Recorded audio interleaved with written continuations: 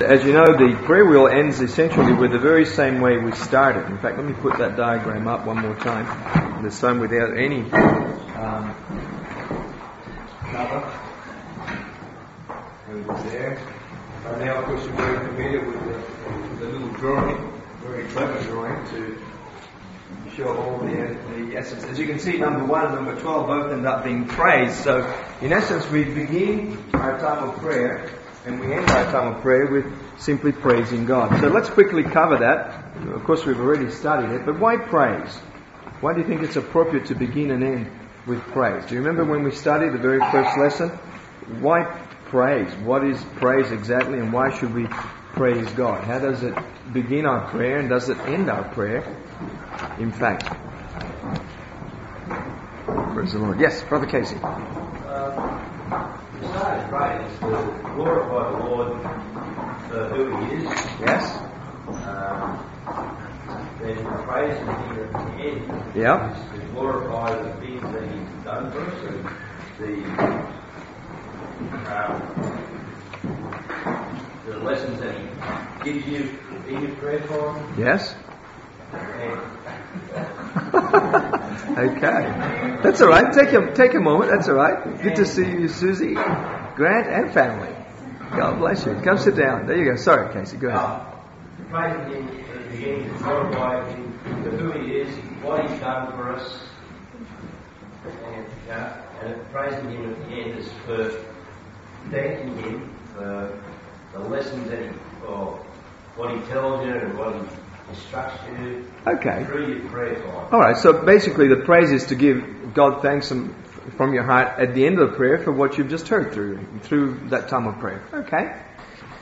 It actually helps you to contemplate a little bit about the awesome wonder of the God you've just prayed and spoken to, you've sung to. Remember, through the time of prayer, we have done quite a bit, haven't we? We've actually gone through uh, a time of personal confession. We've opened ourselves up to God. We have interceded for others. We have actually watched and prayed against the evil one and bound his power in Jesus' name. We've, we've taken time to petition for our own personal needs and, and to give him thanks for the things he does supply us with. Tonight, what I really wanted to do was to hear a little bit from you about each one of these steps as you have found it beneficial in your life. But that time of praise at the very beginning prepares you for prayer, and then the same praise prepares you really for the day to carry, I guess, all that you've received into the day with you. Remember, prayer is not just an hour's exercise and then forgotten. It's sad when we relegate prayer just to one time of the day, as it were, just one hour. Whilst perhaps this is a focus time, and it should exist every day, prayer really should be something that we carry with us throughout the day. In any one moment, to be able to turn our minds to the Lord and offer but a brief, perhaps, but a prayer nevertheless, and it could be in any one of these areas during the day. Anyone else with a suggestion? Yes, brother? Mark.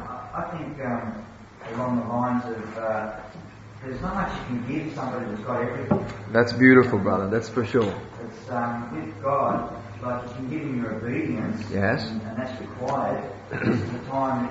This is something you can actually give God. It's sort of a gift just to, to say thanks, is the, the praise from your heart. Very good. Very good. I love that thought. If you remember when we studied praise at the very beginning, we actually discussed this very point. What is it that we can give God? Now we say, oh, you know, service and obedience and so forth, but all these things really, in a sense, are very much part of what we should do. It's our reasonable service to God. Yet praise is something that comes or should flow freely from our hearts. It should be something that is a natural response of His love for us. And when we praise Him this way, we're offering something that God appreciates so very, very much. Because it is A, vocal. Remember, praise is vocal. It isn't just in your head. Okay? And B, it is a response of the heart that's thankful. And in praise, you're really extolling some aspect of God's nature. Remember that when we give thanks, we give thanks for the things He does, for the things He gives us. When we praise, what do we do? What is it that we thank Him for? What is it we are, are praising Him about?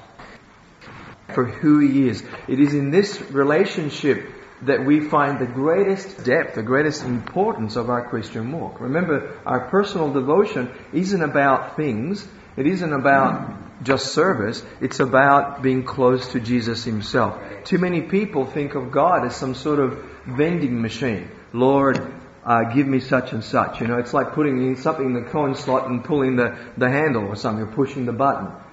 God is not a vending machine. Even though we do ask for things, we need to remember that before anything else, and at the end of everything else, what should remain is our relationship with Him. In praise, we don't just ask for things, we don't just praise Him for things, we praise Him specifically for who He is, or some aspect of what He is. So for instance, if you were to praise God, how would you praise Him? Now remember, we're talking who He is. Give me an example of some aspect of God that we could praise. Come on. Yes, Brother Casey. Uh, show respect for the position He holds in our life as the Creator. Okay, uh, David said, You are my God and I will praise Him. You're my Creator. Many times he referred to that very wording. Uh, you're the Father, my Father. What else? Yes. He's love. God is love, and you can praise Him for the fact that He is love in your life and that He affects and helps with every aspect of love and keeps love happening within your life. Yes? Yes, absolutely. For anything that He has given us in us, He is the gift giver, isn't it?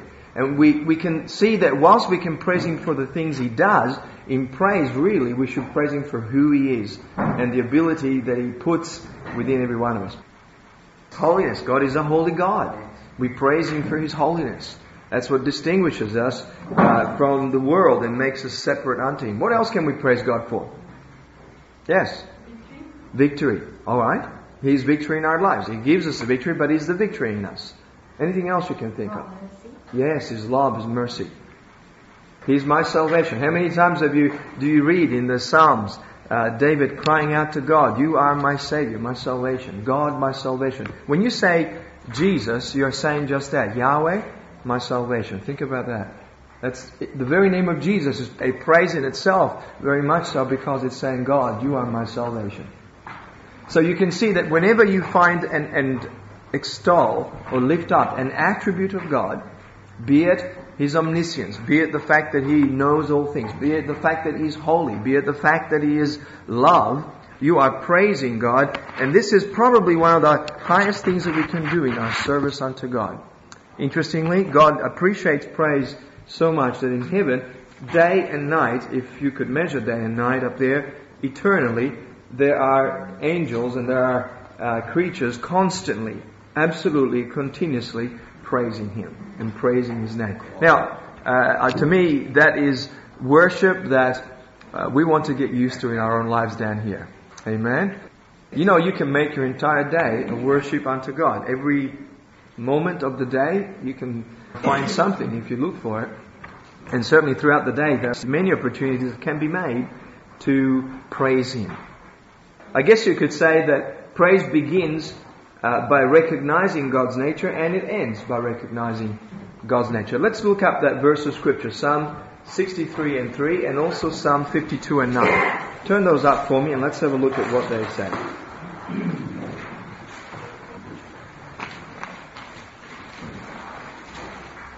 Okay, who has uh, Psalm uh, 63 and 3 for us?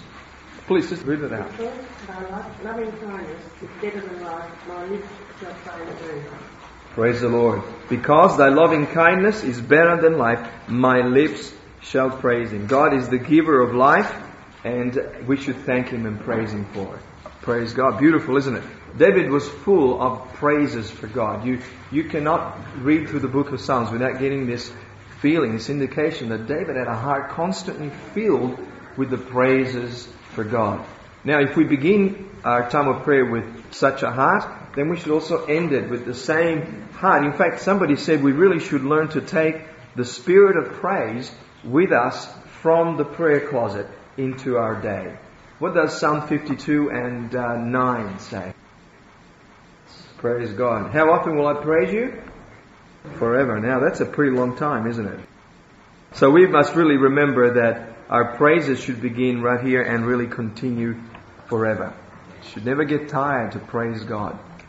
There are so many things we can praise Him for in His nature. His nature is the very thing that is in focus here. If you would make this a practice um, to take this praise away from the prayer closet and into your day. Who knows, maybe throughout the day, uh, you might well uh, find yourself in a situation where it's been a little bit difficult, you've had a struggle, and God will give you the strength to make it through. That's a good moment to stop for a little, just for a moment. It doesn't have to be a very long time. You don't have to kneel there for an extra hour again, but just for a moment to turn your eyes towards heaven, as it were, and your heart lifts up in a praise, in a thanks to the Lord. I want you to turn with me to Matthew chapter 6. If you'll remember, in this chapter, Jesus actually gave us, as it were, a pattern of prayer. When the apostles asked him, Lord, teach us how to pray, he responded this way. In fact, let's read from about verse um, 5 there, if you will. And when thou prayest, thou shalt not be as the hypocrites are, for they love to pray standing in the synagogues and in the corners of the streets, that they may be seen of men. Remember, Prayer is an exercise between you and God largely. It's an act of devotion to Him. You should never do it to be seen of others to pray. Verily, He said, they have their reward. You get nothing benefit out of prayer if you do it just to be seen of others that you're praying. Okay, in verse 6, But thou, when thou prayest, enter into thy closet. It's a private place of prayer.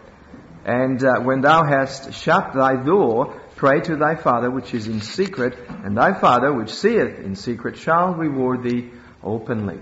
So he is suggesting very strongly that we find a, pray, a place apart to give these praises and, uh, and to uh, call on the name of the Lord and to pray, and not to be seen of men in this, but rather to do it as it were between us and God. And God rewards us openly. So is it true to say that if we pray secretly in the sense of between us and God, the evidence of that prayer can be seen openly?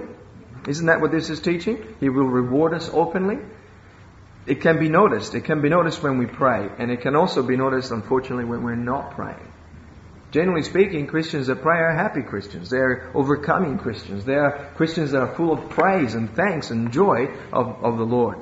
And when we don't, unfortunately, quite the opposite is ready. Then he says, when you pray, don't use vain repetitions as the heathen do for they think that they're going to be heard for their much speaking.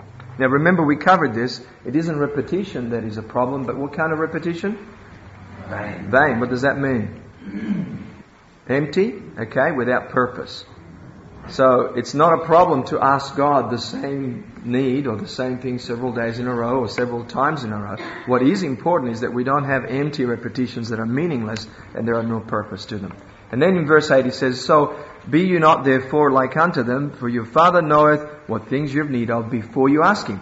So he then says, After this manner pray ye. I want you to notice verse 9, and then we'll read through and then notice specifically verse 13. That's the beginning and the ending of the prayer pattern that Jesus gave us. Verse 9 says, After this manner pray, Our Father which art in heaven, hallowed be thy name. What does his prayer start with?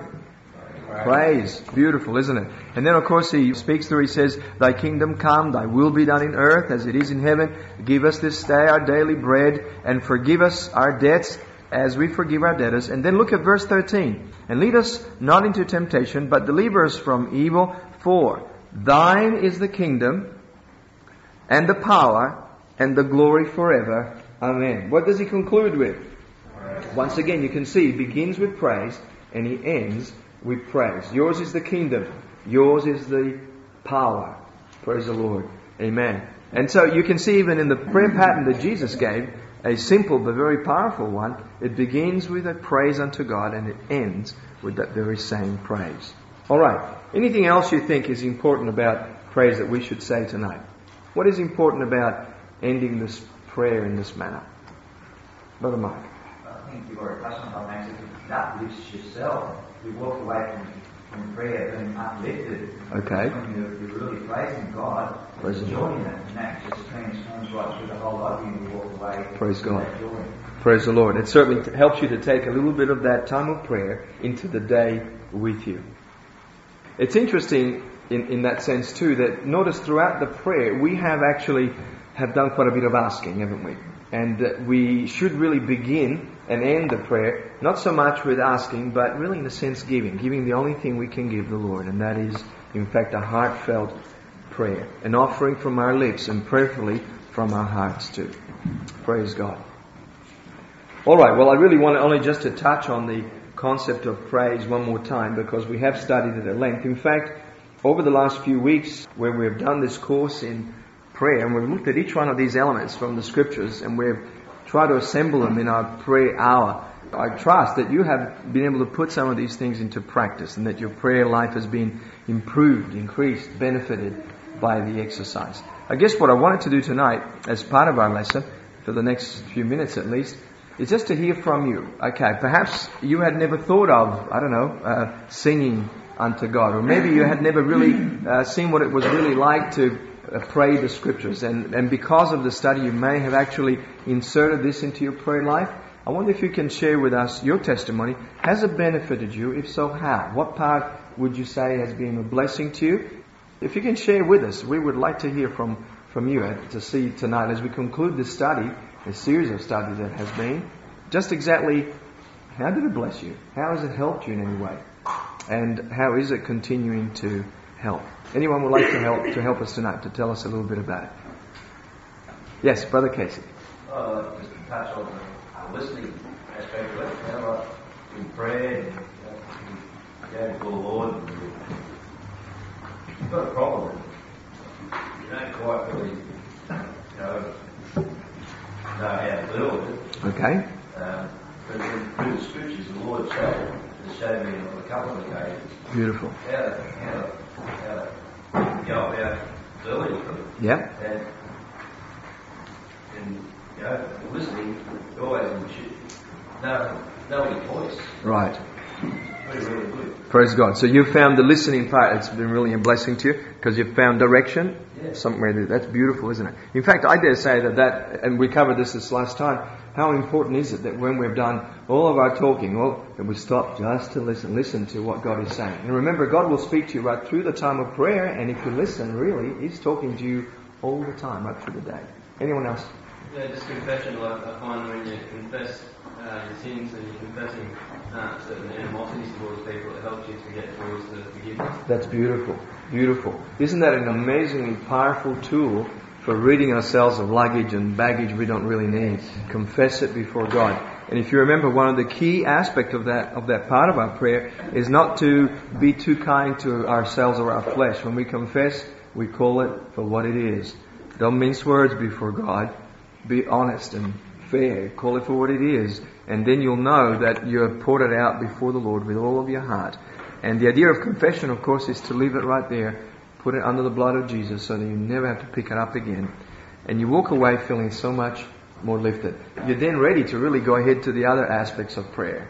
You've left a luggage, a burden, something you didn't need to carry right there. When we started this series of lessons, we discussed together one of the problems in prayer is mind wandering, you know, going off on, on its own little trip. Who has found that by having a structure of this nature has helped to keep the mind on target? You, let me see your hand if, if it's been a blessing to you that way. Because I found that that's probably one of the greatest benefits of having a plan for prayer. Now remember that what we said at the very beginning, we shouldn't be so sort of tied to the pattern of prayer that we don't follow after the Spirit. In other words, this is only a pattern. Uh, it's true to say that some mornings uh, God may well uh, cause you to stop at the very at the very step of confession. You might not even get any further than that, and that's the nature of your prayer. Some mornings, perhaps, meditation is what really sort of grabs you. And I'm not saying that you should leave everything else out, but there are times when the pattern, uh, this and other patterns, are just changed. Naturally, to have something to fall back on, however, that's comfortable, that's there, that you can follow, should help to keep our minds on target. Lest the hour passes with mind wanderings, and we've been everywhere except where we should be before, before the throne of God. Sister Jerry. Um, a couple of times I went back to the old style of praying just, I don't know, I just thought, oh, I'll just do that for a couple of days. I just missed the, empowering that this gave. Okay. It so much more empowering. I just felt that I got so much more zest for the day or something the Lord using more when I use for it. Praise the Lord. That's good. All right. Anyone else? Yes, Sister Precise. I find that uh, what you were discussing before, when you wait on the Lord in prayer, to be a lot of the times I find it shows me what to pray for. Beautiful. Yes. And um, I've, I've used everything in that prayer and it's a place on to every time we're praying, we we have to say thank you. Praise the Lord. I think my only problem I have, Sister First Rise, is when I get to intercession, my list gets so long that I've got to naturally curtail it for that day just to be able to focus in on just some specifics. But you're right, isn't it true? Every area of it is indeed a, a great blessing. Praise the Lord. Any other comments that you'd like to make on it? Yeah, please. Uh, talking about repentance, sometimes I find out that after you sing and then you go back to the intercession. Yeah? Yeah. Okay. Yeah. That's beautiful. All right. That can happen too, by the way. We put them in a certain order, but they don't necessarily have to stick to that. You can sometimes, something that's laid on your heart, you can certainly return to an aspect of it. Yeah? Sister Louise. Um, like the watching, like when you pray that you can ask the Lord to show you um, someone's needs, specifically with it. Yes. For a particular person, I felt exactly what they felt. I knew what to pray for, and it was just an, an empathy and a sympathy with that person that I, it's, I knew, I knew the power to Beautiful. pray because I knew what was their stronghold, and it was a blessing. And also the singing, many times I started singing my language, but end up singing in the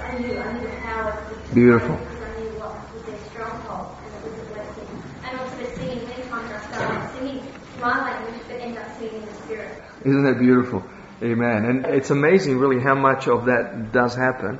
That's beautiful. The Spirit of God will cause you to sing beautiful tunes that you probably could never repeat any other time, but that moment it just flows from the heart, and both, as you say, in your native language and or in tongues.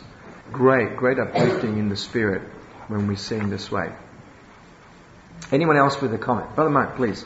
I found the uh, meditation, the developing the habit reading word before I pray. Yes. It's amazing how many times that's the actual answer in the course of the prayer. Yes. Just, just through going through the Psalms, and then uh, during the course of prayer, that's, what I needed to hear, and that actually fixes that. But when I read it, it wasn't on my mind. It wasn't until I thought about it in prayer Mm. that the answer was revealed. Praise the Lord. Beautiful.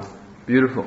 Okay, once again, notice that each one of these factors, as it were, lock into one another. Sometimes you you might be praying for a need, and just while you are interceding for someone else, God reminds you of some other aspect of your own life that you need to bring before Him. Or once again, in meditation. So they do inter- interlock, and those words that you read from the scriptures that you're meditating on may well be the very answer for the entire theme of your prayer for that morning.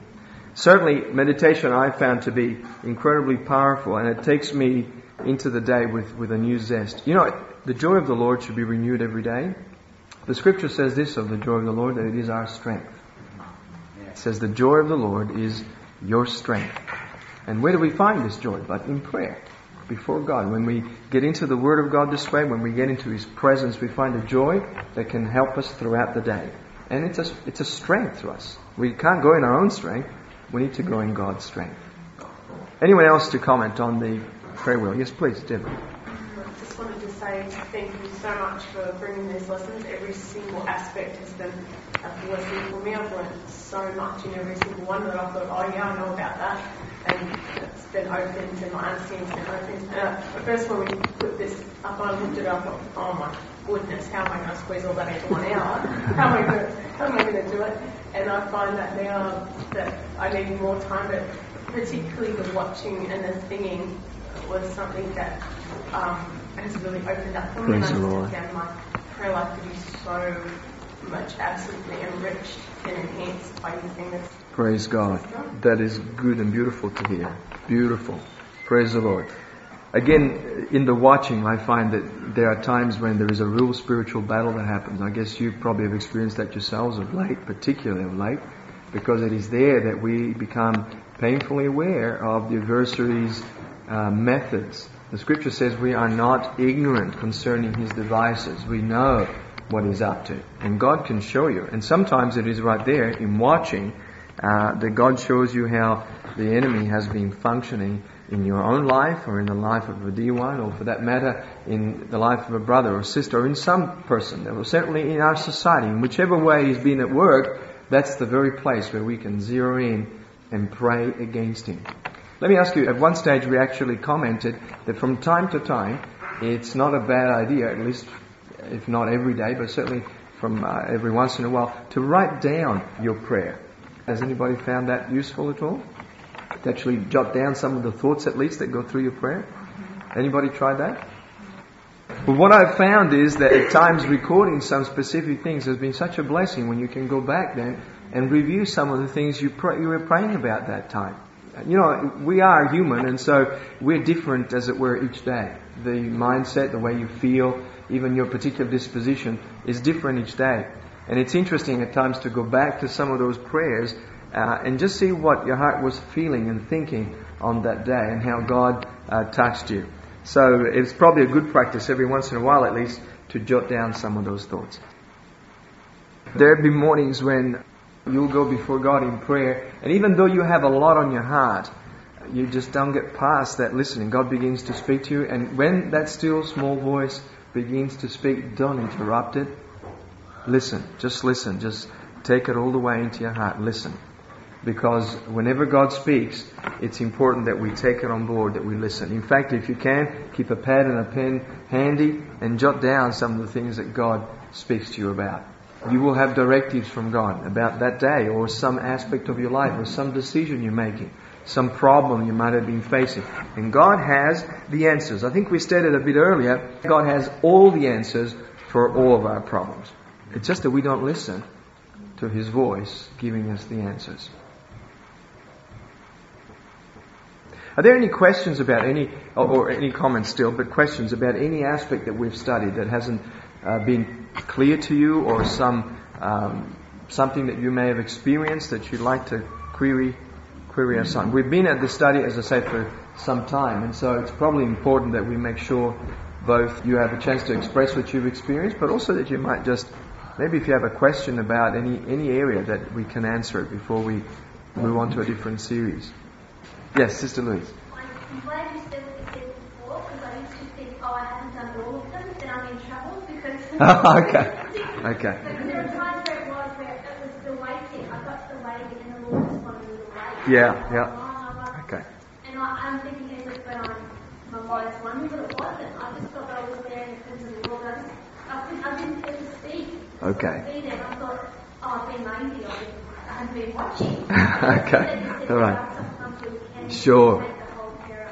Yeah, absolutely. In fact, let, let me stress that this is a, an aid, it's a tool to help you, not a whip to whip yourself with. Okay? If you start saying to yourself, oh, I didn't pray properly because I didn't cover every spot, well then, then really you're using it as a whip. This is only as a pattern to uh, make sure that you sort of follow and you don't get lost in your thoughts and what have you. But it's very real to say that God may lead you to a different prayer within this or to a different pattern. That's fine, even if it happens every day. As long as you're actually praying and you're definitely doing what is necessary before God, there's not a problem at all. I found though that in most cases you'll find even though uh, what Sister Louise just described, some mornings God will kind of hold you in one area and that's where you stay, uh, or even just take you straight there and that's where you stay. That in most days it's okay, you will actually continue in that pattern. So don't go whipping yourself if you didn't do every every bit of the pattern. The other thing that I've found, and most most of you may have found the same, when we first started talking about the hour of prayer, right? A lot of people thought one whole hour? How am I going to do this, right? And uh, I pray that you can see how much easier it is by following a pattern of this nature to pray for that hour. Have you found that? Okay? Now, if you don't have a whole hour, those sections, as you know, can become smaller to fit your 15 minutes or 20 minutes. It doesn't really matter. Uh, what I've discovered is that in, in most cases where necessary, uh, some of those sections even stretch the other way, where instead of just a few minutes, you've had to take probably quite a lot longer. So it's flexible. It's not a whip for you. It's an aid. It's a tool to help you. Any other? Yes, sit, please. Um, you know about wait, waiting. Yeah. I remember you said like the squeegee thing, but when you're waiting and then like inside you still still praising the Lord, Yeah? Yeah, oh yes, that's fine. that's why. Yeah, yeah, that's fine, that's fine. Ideally, waiting is, is a mind clearing exercise. But if your mind is already cleared and you're right there with it, well, really, is, praising is really what you're doing during that time. You're just uh, expressing your love to the Lord. Yeah, that's fine. And again, you don't have to uh, do a whole five minutes of waiting if you're already there where you ought to be. The purpose for waiting is really to bring our mind into subjection to the exercise of prayer. So if your mind tends to be a bit all over the place and you can't quite get it in, waiting is an ideal time just to kind of focus. That's the squeegee idea, kind of squeezing out all the other thoughts, right? Okay. But if your mind is there and you and you're with it and you're focused, then you don't have to wait five minutes before you go on. You just thank the Lord and move right along. That's fine. more time to pray other things as well. Okay?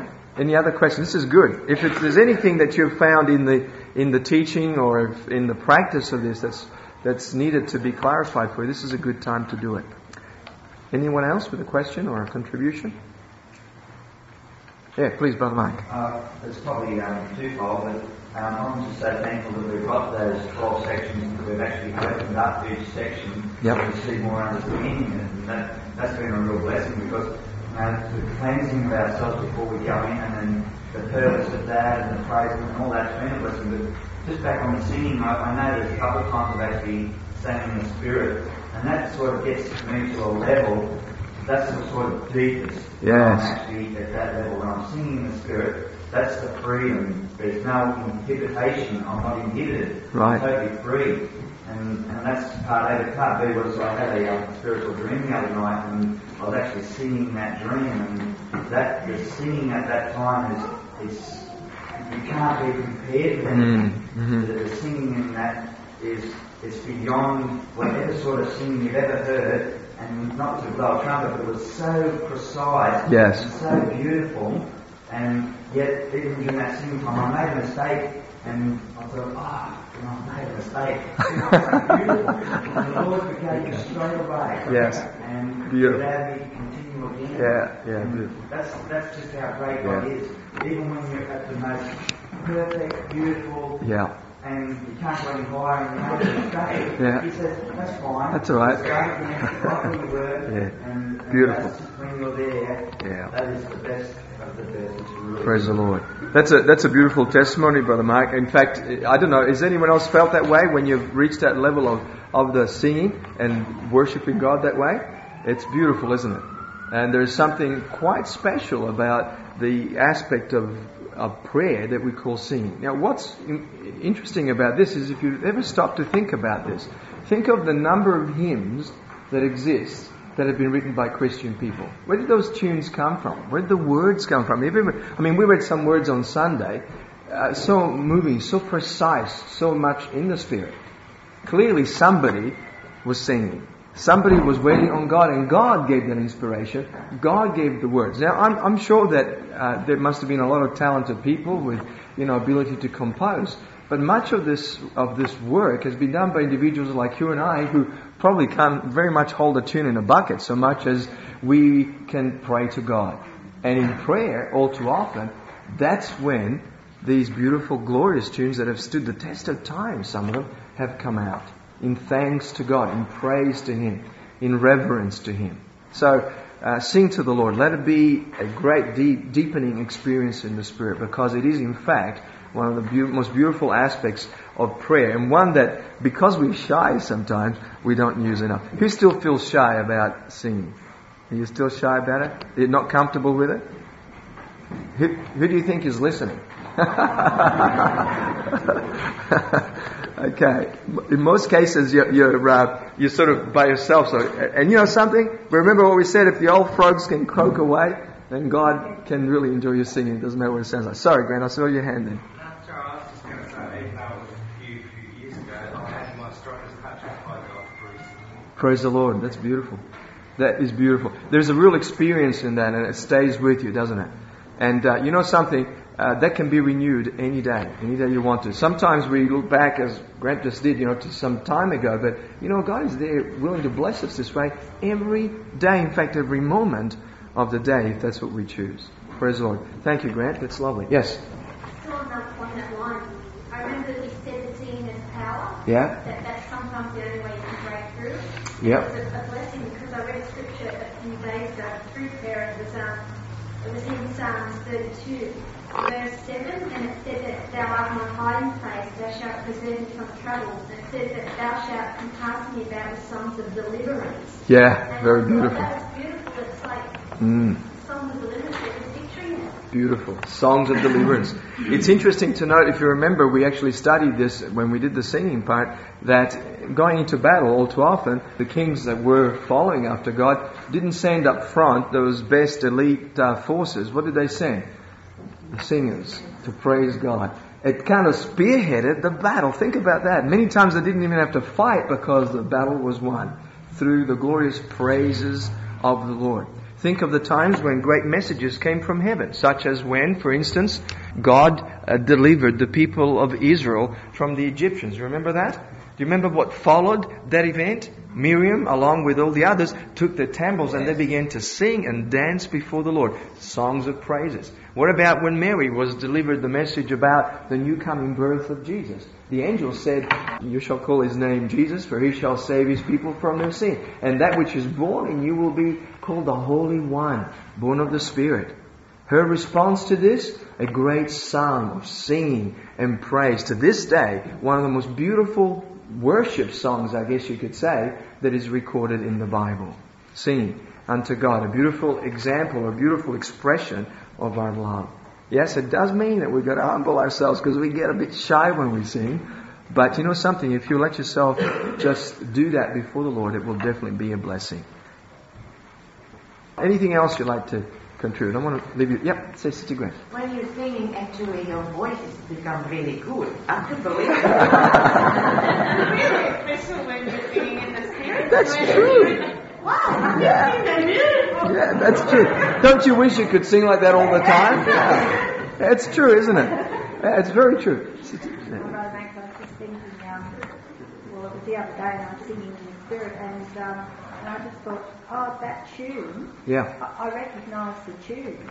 And it was, I, I must have been, well, it was a song that I heard years ago. It was Love is a Meaningless Thing. All right. But it sort of fitted in that. And I remember um, Sister Janine um, made up this, or she, the Lord gave her a song, and I was over at my um, having a music uh, lesson, and keyboard, uh, the, the teacher said to me, "Oh, come and listen to this music. It's so beautiful." She said, "But it doesn't have any words." And she started playing it, and I said, "I recognise that tune." Yeah, And it was the same tune that Sister Janine Right. um, had uh, the Lord given given Yeah. her these words to it. Was beautiful. Beautiful. Yeah, yeah. So Yeah, that's that's true, and that can very well happen. In in singing, by the way, there is virtually no limitation here. Let me explain that as we we have studied this, but to say that it can be in your native language, it can be a tune you recognize. Usually, it's a scriptural tune or a chorus or a hymn or what have you, uh, or it can be in tongues, and once again with a tune perhaps that you've never heard before, literally from heaven itself. Uh, You know, I believe when we get to heaven, we will be amazed at the songs of praises and the sounds of worship to God, songs that we have never heard. You know, the scripture says, Eye has not seen, ear has not heard, neither has it entered into the heart of man the things that God has prepared for us in heaven. And yet, he goes on to add, God has revealed them to us. Now we have not seen them. We are going to be amazed up there. And yet when we're in the Spirit, and these are the very times when God reveals them to us, in the Spirit of prayer, in the Spirit in heaven, as it were in heavenly places, already we begin to get glimpses of what it's really going to be like. So, no wonder heaven is better than this. We've got a down payment, saints, down here on, earth, but in heaven we'll get the full reward, the full payment. It's going to be quite something, and I'm looking forward to being there. Anyone else before I close the meeting? I don't want to leave you out. Yes, please, Grant. I'd just like to uh, thank God for uh, our beautiful sister Louise who come and visit today and asked us to come to church. Praise the Lord. And there all the others that have been praying for sick. You have all been very much in our prayers, and it's great to see your faces again. there's a few praying for us. Praise the Lord. That's great. Glory to God. Yes, Brother Alan. That's given me enough courage. This morning, um, I just want to mention about the listening. I was praying this morning and uh, Susie and Grant came across my mind for several months Right. and God showed me to pray for them this morning. Beautiful. And then they turned up tonight and walked in the door and I sort of, it wasn't until a couple of minutes that I remembered that. Yeah. That's beautiful, brother, thank you. You see how God speaks? Hey, listen, this leaves Telstra Communications for dead. God, God's Spirit is so much more powerful and direct and has no limits. You don't have to watch or look out or worry about a signal. It's there. All we got to do is tune in. And if we listen carefully in the Spirit, it's amazing just how God does reach our hearts with the messages and the needs that we need to pray for. Please put these things into practice, saints. Make sure that your devotion time, your time with God is so strong, so precious. Don't, don't miss the appointment with God. Don't miss them. We, you know, we tend to keep more appointments with uh, fellow men and put more importance on our business appointments and our appointments with the dentist and the doctors than we do with God. Make sure that you're serious about that time with God. Amen. Make a time with Him. And then when you do, make a count. Make it something quite beautiful because in this strengthening of your personal devotion, you are building your life in Christ. Everything else, listen to this, everything else you will ever do for God can only be as strong as your personal prayer time, as your personal devotion. And if you don't believe that, talk to anybody that's ever worked solidly for God, and they will, you will find that they have to pray more. They have to develop a stronger base of relationship with Jesus from which flows out their service. You can't do it the other way around. And so, in fact, if we do, if we just serve without relationship, we quickly run out and our work becomes nothing. Prayer. What a beautiful subject. I guess we have certainly given it our full attention for quite some time. And uh, no doubt it won't be the last time we'll be teaching and preaching about it. But I pray that it's been a blessing to you. Why don't you stand with me and let's thank the Lord together for, the, uh, for both the study and the time we've had tonight.